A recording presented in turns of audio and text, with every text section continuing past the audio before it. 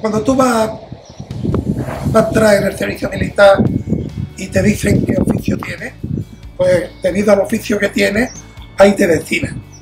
Yo puse la realidad, yo con 17 años ya estaba de jefe de taller en Citroën, en la casa de automóviles, y al poner que, que era mecánico, pues me destinaron a la cochera. Los que hicieron la milis conmigo tienen que tener 80 años ahora, 79, 80.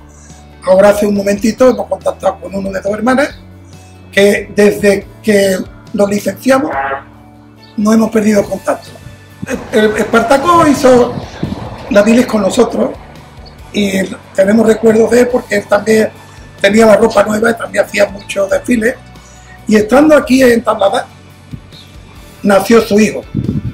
Recuerdo que, que le dieron permiso porque la mujer estaba de parto, por lo tanto, Espartaco tiene, tuvo que nacer en el 62-63, que es cuando yo estuve aquí en Tablada más, más tiempo.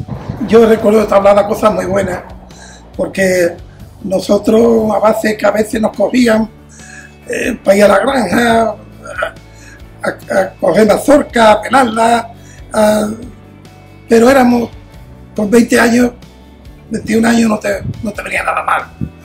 Yo después hice muy buenas amistades con los militares que todavía había un, brigada en recambio de automóviles que era estupendo. Después aquí donde estamos estaba la Brigada Lucas, que también era una persona muy buena. Y, y nosotros lo que pasa es que como no teníamos destino, pues andábamos por todos lados, nos mandaban a lo mejor llegarse a cochera que hay que empujar un camión, pues allí estábamos todos, sin problema. La mili entablada para mí fue uno de los ratos de mi vida que no se me olvidan.